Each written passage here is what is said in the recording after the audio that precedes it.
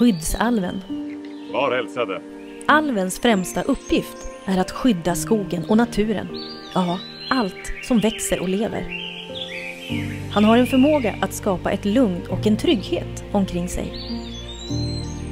Att vara skyddsalv är ganska ensamt och han reser över hela världen för att vaka över naturen.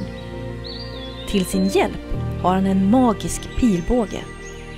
Med den skjuter han osynliga pilar som förtrollar den som träffas till att vara snäll mot naturen.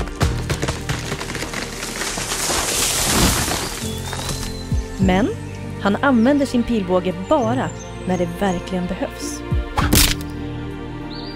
Alven är en trygg figur. Han går med stolta steg genom skogen.